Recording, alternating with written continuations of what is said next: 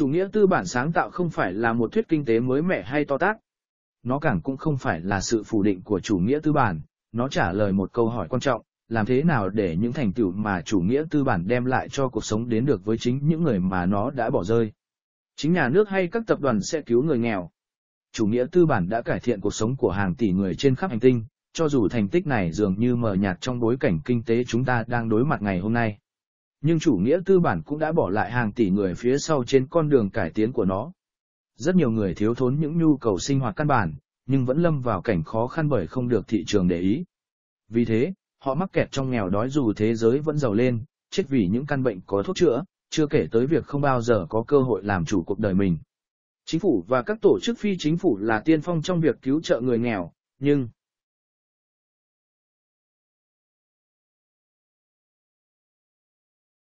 cũng như năng lực để biến những thành tựu công nghệ thành công cụ giúp người nghèo cải thiện cuộc sống. Để tận dụng tối đa những kỹ năng này, chúng ta cần một hệ thống tư bản chủ nghĩa sáng tạo hơn.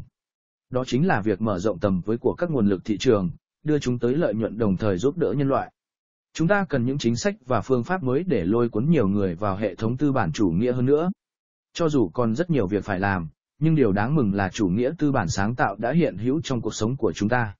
Một vài tập đoàn đã khám phá và tiếp cận những thị trường mới để tiếp thị điện thoại di động, một trong những công nghệ thay đổi cuộc sống của người nghèo.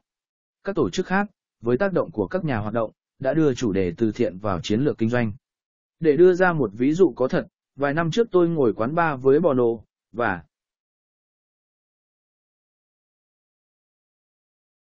Bono trở nên phấn khích và bắt đầu thuyết trình về một kế hoạch lôi kéo các công ty vào cuộc chiến chống nạn nghèo đói và bệnh tật trên quy mô toàn cầu. Anh ấy không ngừng bấm số điện thoại mật của các nhân viên hàng đầu và dí điện thoại cho tôi nghe mỗi khi họ đưa ra những câu trả lời hào hứng dù còn trong cơn ngái ngủ. Sự kiên trì của bò nổ đã cho ra đời chiến dịch Z, rầm rộ khắp nơi. Ngày nay các công ty lớn như Gap, Hôn Mạc và Dell đã đi đầu bằng việc bán các sản phẩm hiệu Z và tặng một phần lợi nhuận cho cuộc chiến chống S. Microsoft gần đây cũng đã đăng ký. Đó là sự kết hợp tuyệt vời, các công ty tạo nên sự khác biệt song song với việc tăng lợi nhuận, người tiêu dùng cũng có cơ hội ủng hộ một cuộc chiến cao cả, và điều quan trọng nhất là rất nhiều cuộc đời được cứu sống. Chỉ trong vòng một năm rưỡi trở lại đây, Z đã quyên góp được 100 triệu đô cho quỹ chống S, lao phổi và sốt Z toàn cầu. Nỗ lực này đã đem thuốc men tới tay 80.000 người ở các nước nghèo, đồng thời đã giúp 1,6 triệu người được đi kiểm tra HIV. Đó chính là những thành tích của chủ nghĩa tư bản sáng tạo. Chủ nghĩa tư bản sáng tạo không phải là một thuyết kinh tế mới mẻ hay to tát. Nó càng cũng không phải là sự phủ định của chủ nghĩa tư bản. Chủ nghĩa tư bản sáng tạo là cách trả lời một câu hỏi quan trọng, làm thế nào để những thành tựu mà chủ nghĩa tư bản đem lại cho cuộc sống đến được với những người mà nó bỏ rơi. Hai động lực chính để phát triển con người, lợi ích bản thân và sự quan tâm đến cộng đồng.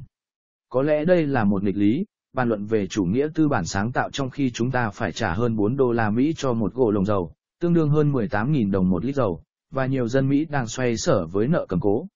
Không gì có thể che giấu hiện trạng khó khăn của nền kinh tế ngày nay, với tác động sâu sắc lên nhân loại, và chúng ta cần những cứu cánh khẩn cấp.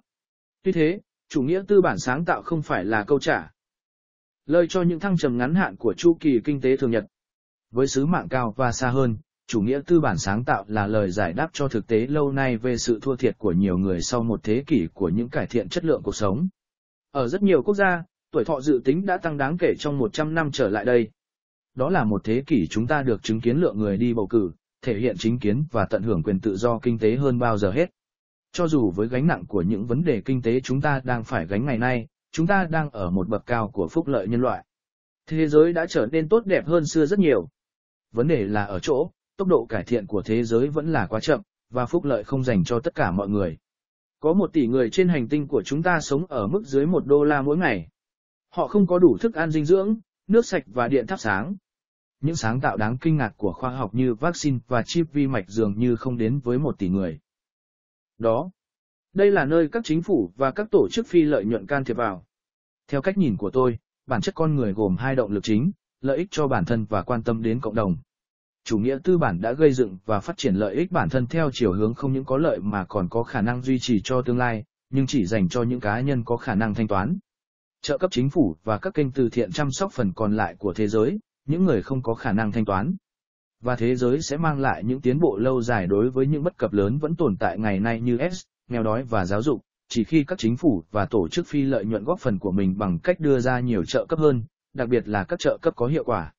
Nhưng những cải thiện này sẽ xảy ra nhanh hơn và kéo dài lâu hơn nếu chúng ta hướng những nguồn lực thị trường, bao gồm những sáng kiến dành riêng cho việc đáp ứng nhu cầu của những người nghèo nhất, để chung sức với những nỗ lực của chính phủ và các tổ chức phi lợi nhuận. Chúng ta cần một hệ thống tốt hơn nữa để thu hút các nhà sáng chế và các thương gia. Theo lẽ thường, khi các công ty tham gia vào bất cứ hoạt động nào, họ cần có lợi nhuận. Đây chính là tâm điểm của chủ nghĩa tư bản. Đây không chỉ là việc tham gia vào các chương trình tư thiện hay đòi hỏi các công ty phải có đạo đức hơn. Đây là việc cung cấp những động cơ thực sự để các công ty áp dụng chất xám theo những cách mới, vừa có khả năng kiếm lời lại vừa đem lại lợi ích cho những người bị bỏ rơi. Điều này có thể tiến hành theo hai cách, các công ty có thể tự tìm ra các cơ hội riêng cho mình, hoặc là các chính phủ và các tổ chức phi lợi nhuận có thể giúp tạo ra những cơ hội còn chưa tồn tại.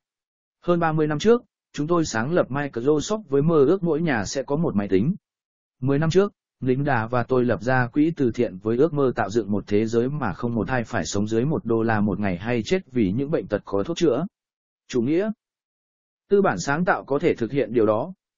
Tôi hy vọng sẽ có thêm nhiều người tham gia vào sứ mạng này. Bill Gates Như tờ già Hà Lạt đã chỉ ra trong cuốn sách kho báu dưới đáy kim tự tháp, trên thế giới còn rất nhiều thị trường bị bỏ sót. Một cuộc nghiên cứu phát hiện rằng những 2 phần 3 số người nghèo nhất hành tinh có sức mua tới 5.000 tỷ.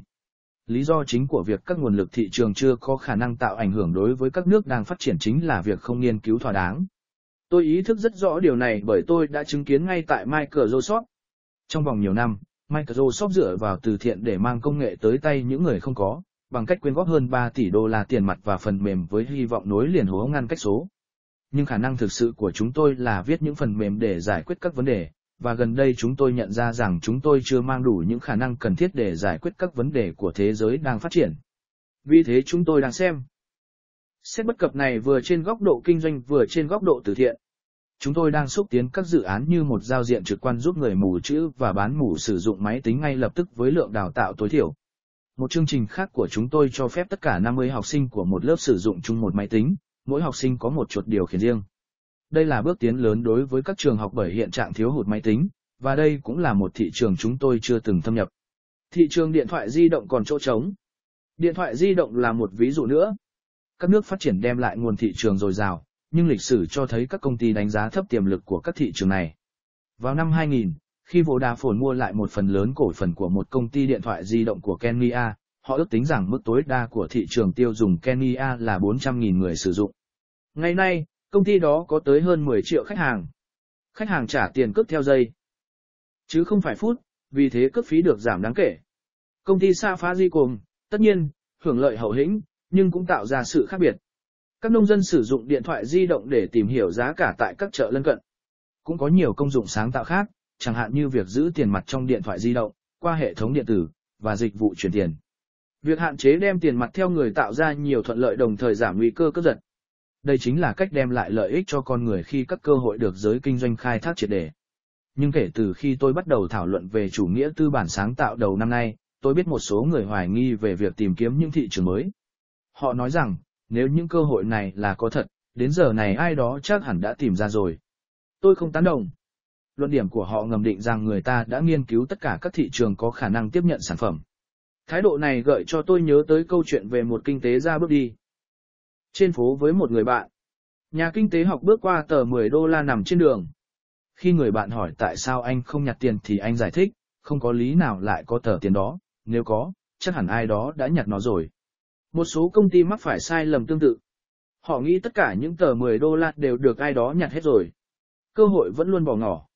Chúng ta không thể để những suy nghĩ này cướp đi những cơ hội như thế, và lẽ ra, các nhà nghiên cứu và chiến lược gia cần gặp gỡ các chuyên gia thường xuyên để tìm hiểu nhu cầu của người nghèo và những áp dụng mới cho các ý tưởng của họ.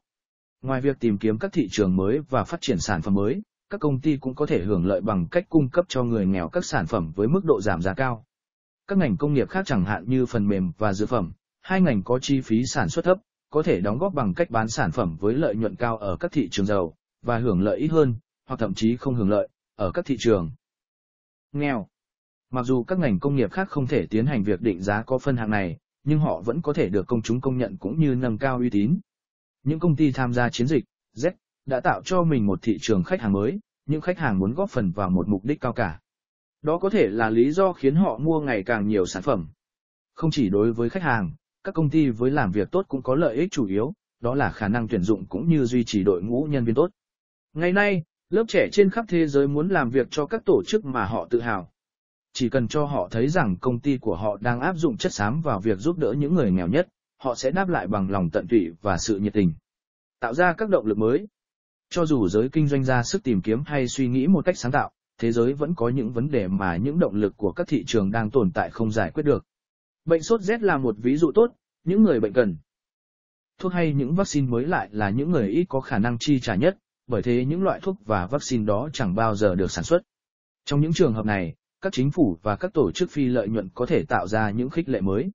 Đây là cách thứ hai để chủ nghĩa tư bản sáng tạo cất cánh. Các biện pháp khuyến khích có thể trực tiếp như khen ngợi các công ty có thành tích trước công chúng.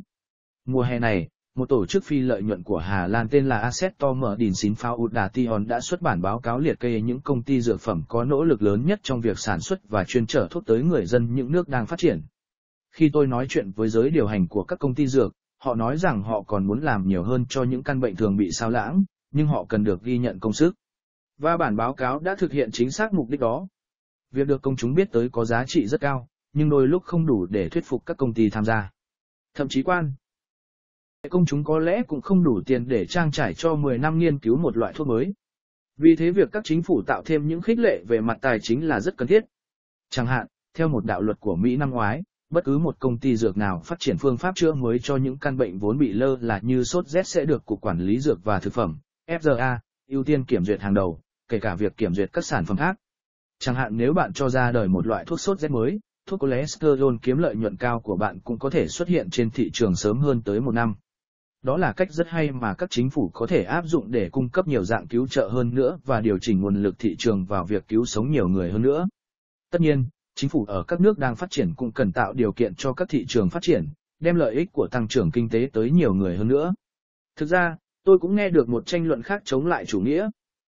Tư bản sáng tạo, chúng ta không cần biến chủ nghĩa tư bản thành chủ nghĩa tư bản sáng tạo. Chúng ta chỉ cần các chính phủ ngừng việc can thiệp.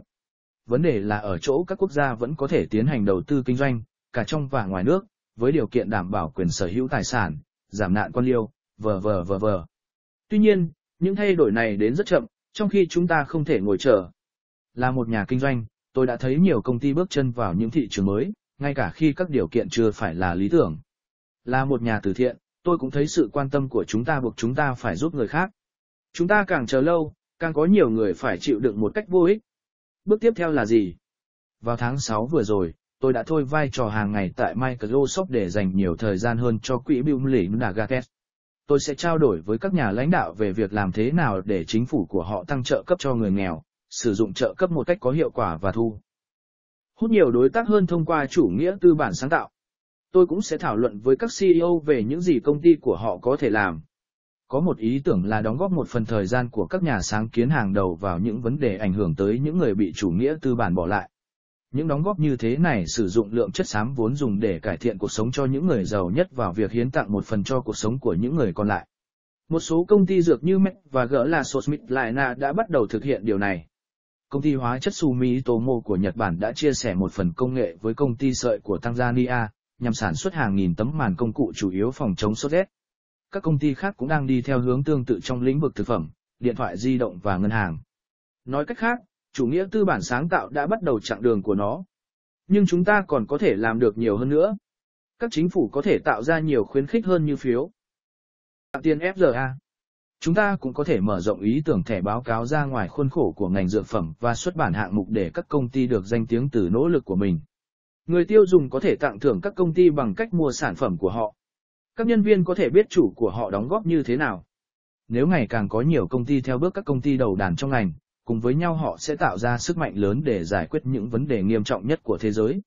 Hơn 30 năm trước, Tao Á Lấn và tôi sáng lập Microsoft bởi chúng tôi muốn là một phần của công cuộc đặt một chiếc máy tính lên mỗi chiếc bàn trong mỗi ngôi nhà.